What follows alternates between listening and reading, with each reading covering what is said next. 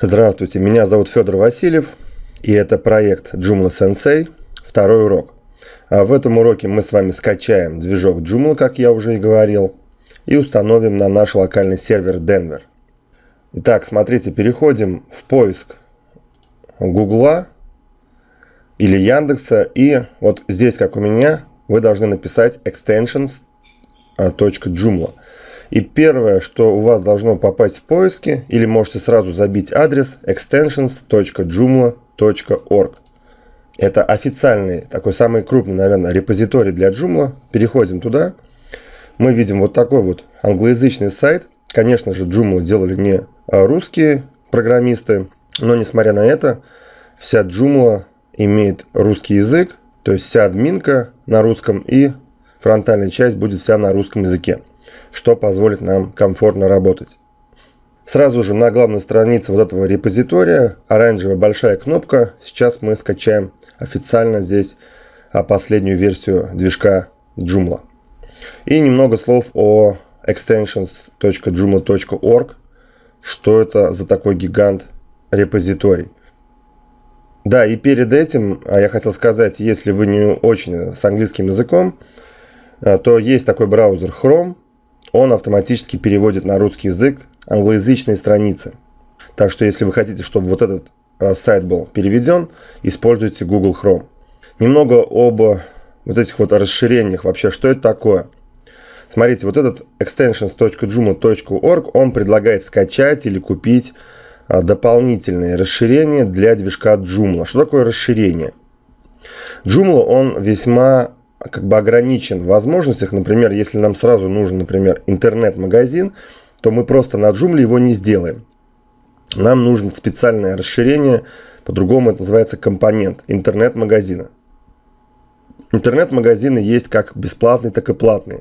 То есть, если он бесплатный, то вы сможете найти его здесь, тут есть поиск, и скачать к себе на компьютер и установить. Соответственно, компонент интернет-магазина, он не работает без Joomla. Теперь немножко давайте поговорим вообще, что такое расширение. Расширение – это как бы обусловлено одним словом три позиции.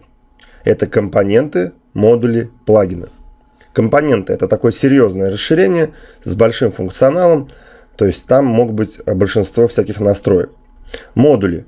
Модули – это как бы э, выводится визуально на лицевую сторону сайта какой-то контент. Например, вы скачали компонент интернет-магазина – к нему прилагаются также модули. Например, модули выводят на главную страницу, вообще на сайт, например, фильтр для интернет-магазина, то есть поиск там, по товарам.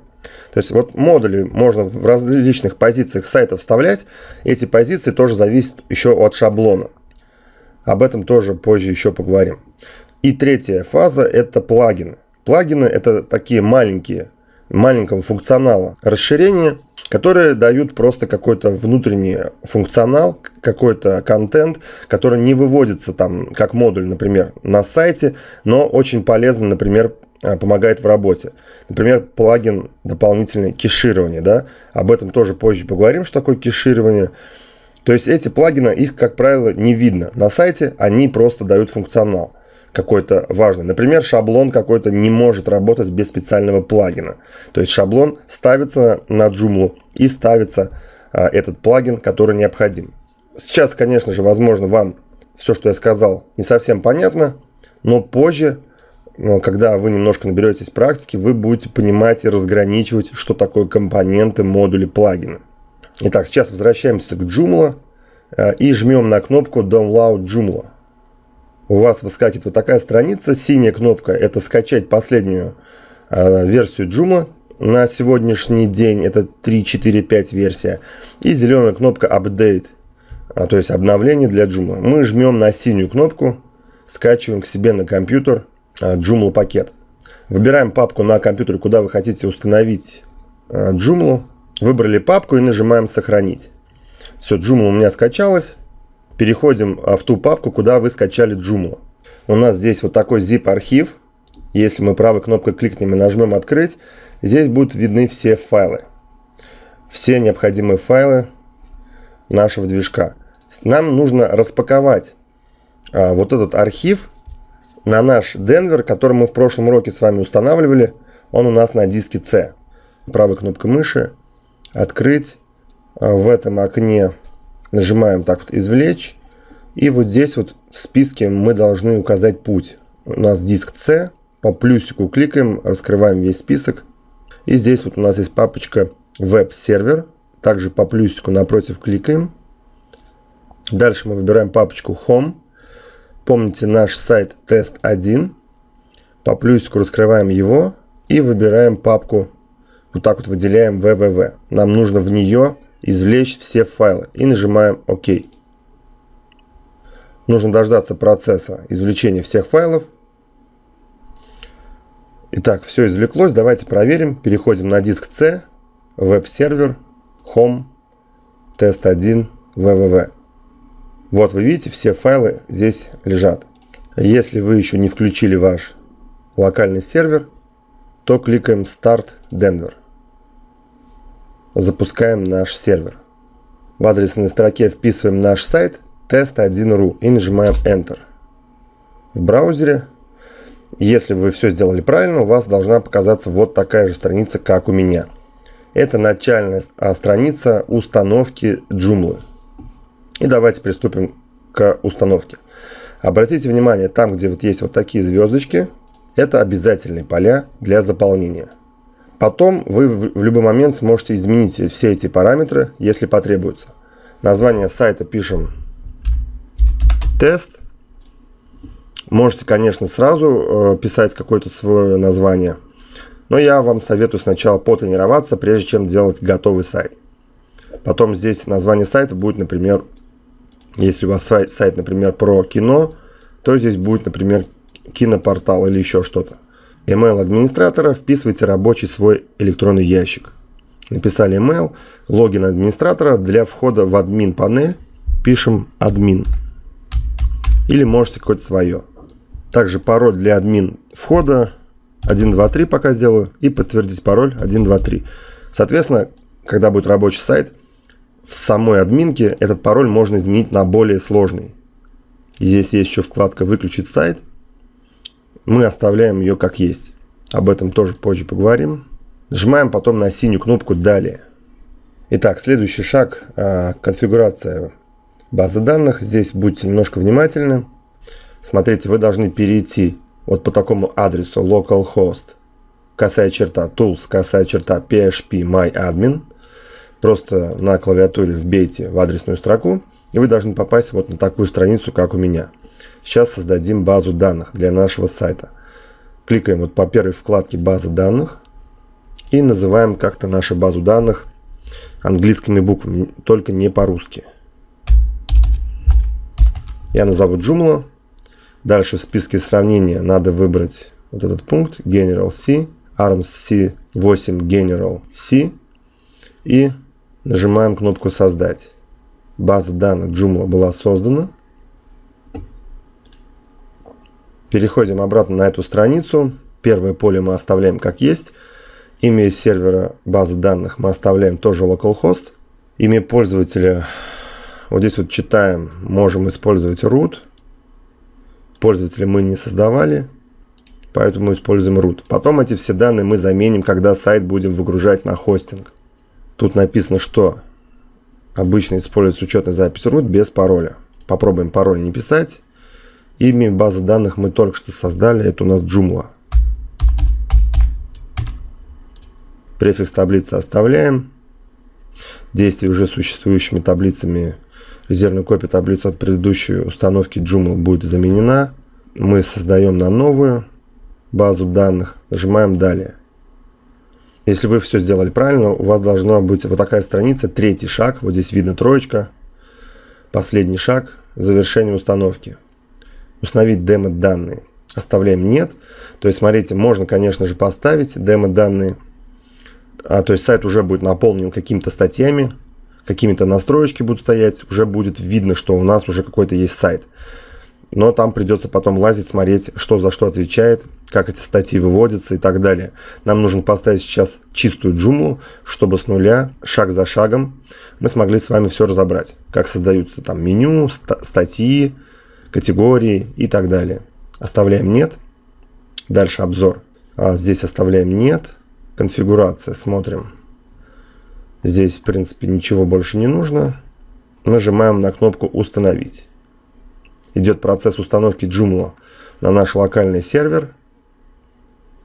Нужно немножко подождать. У вас должна появиться вот такая страница с поздравлением, что мы успешно установили Joomla. А прежде чем мы приступим к следующему шагу, а следующий шаг это, смотрите, удаление директории и инсталляция. То есть это важный шаг, это, эта папка нам не нужна после того, как мы Joomla установили. Но перед этим вот здесь есть такая внизу кнопка установка языковых пакетов. То есть нам нужно русифицировать сейчас админ панель, чтобы она не была на английском языке, и фронтальную часть сайта тоже. Кликаем на эту кнопку «Установить языковый пакет». Здесь много языков, мы крутим в самый низ, нам нужен русин. Вот он, русин. Русский язык. Ставим напротив галочку, поднимаемся наверх и нажимаем «Дальше». У нас идет установка русского языка на нашу джумлу. Тут идет информация о мультиязычности, мы это тоже пока пропускаем. Ниже смотрим. Вот здесь нужно выбрать точку, поставить напротив русский язык. Это язык панели управления, да? То есть это админ часть нашего сайта, нашего сайта. Язык сайта, то есть фронтальная часть, тоже выбираем здесь пункт напротив русский. И нажимаем далее. Все нам говорит о том, что у нас язык теперь по умолчанию русский, а, все на русском языке по умолчанию. Поздравляем, вы установили Joomla. Это у нас уже сообщение выскакивало. Нам еще нужно сделать одно действие, это удалить директорию, да, как я уже говорил. Кликаем по желтой кнопке. И кнопка сменяет свое название. Директория инсталляция успешно удалена. Теперь смотрите, что мы делаем. Правой кнопкой мыши мы кликаем по кнопке панель управления и открыть в новой вкладке. То есть, чтобы у нас в новой вкладке открылась вот такая страница, в адресной строке вы можете видеть наш сайт, косая черта, администратор. То есть, это путь админ панели. Здесь нам нужно ввести будет логин и пароль, который мы а, делали при создании Joomla. А на этой вкладке, там где кнопка сайт, просто кликаем по кнопке сайт, и у нас открывается уже такой, можно сказать, готовый сайт. Его нужно только настроить. Это стандартный шаблон Protostar, который сейчас вы видите, да? Позже мы здесь все настроим. То есть вот он наш сайт. Это главная страница. В другой вкладке у нас открыта админ э, страница. Здесь мы пиш, вписываем админ. То, что помните, мы создавали логин. И пароль у меня был 123. И нажимаем на кнопку «Войти». Вот посмотрите, я зашел в админ панель Joomla. Если вы все сделали правильно, у вас должно получиться то же самое. Как вы видите, у нас все на русском языке. Мы с вами произвели установку. И в следующем уроке мы с вами начнем изучать уже сами настройки э, Joomla. Поздравляю вас с успешной установкой сайта на локальный сервер. Увидимся в следующем уроке. Позвольте подарить вам подарок. Если вы только начинаете свой путь с Joomla, или вы уже матерый вебмастер, вы рано или поздно задумаетесь о самом важном. Это внешнее отображение вашего сайта. Другими словами, шаблоны. На просторах Рунета вы сможете просто утонуть в изобилии красивых шаблонов. Но есть большая опасность получить вирусы прямо с шаблоном, тот, который вы скачаете. Крайне нежелательно качать шаблоны с неизвестных источников. Я хорошо поработал и собрал для вас базу из 55 качественных и красивых шаблонов на любую тематику. Все шаблоны чистые, без ссылок и вредоносного кода. Гарантирую в 100%. Все шаблоны были скачаны мною лично, напрямую у разработчиков и я все упаковал в один архив. К каждому шаблону приложил ссылку на демонстрацию шаблона. Так, чтобы вы всегда могли сначала посмотреть на шаблон во всей его красе и выбрать то, что вам понравилось. Все это я сделал для удобства. Итак, как получить все шаблоны целиком? Да очень просто. Шаблоны я отправлю на ваш email адрес.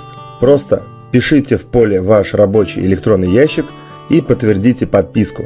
И через несколько секунд автоматически к вам придет второе письмо с ссылкой на закачку архива с шаблонами – Желаю вам творческих успехов. С уважением, Федор Васильев.